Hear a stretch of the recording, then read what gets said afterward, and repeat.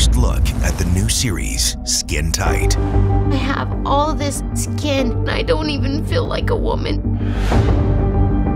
It makes me feel gross. It makes me feel repulsive.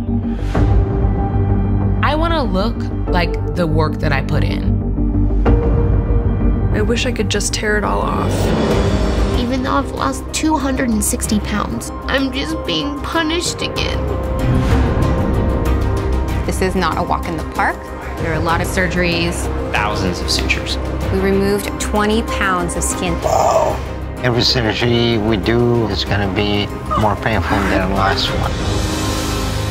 You look amazing. I feel like a completely different woman. I've actually beaten obesity once and for all. Dramatic new series, Skin Tight, premieres January 6th at 10 on TLC.